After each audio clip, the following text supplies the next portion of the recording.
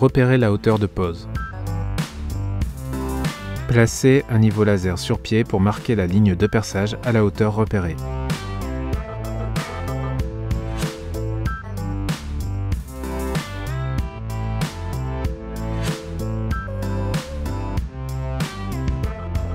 Repérez la ligne sur le niveau laser.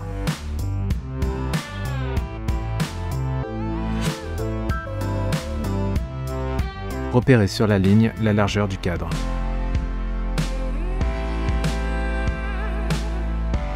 Percez en son milieu et chevillez.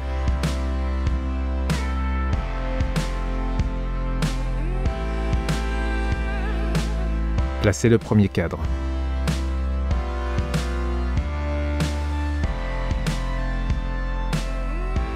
Reportez la largeur et le centre du cadre sur la ligne de perçage en ajoutant la longueur d'espacement entre les cadres.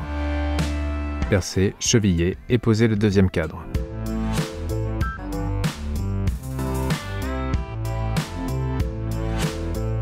Procédez ainsi pour la suite de la série.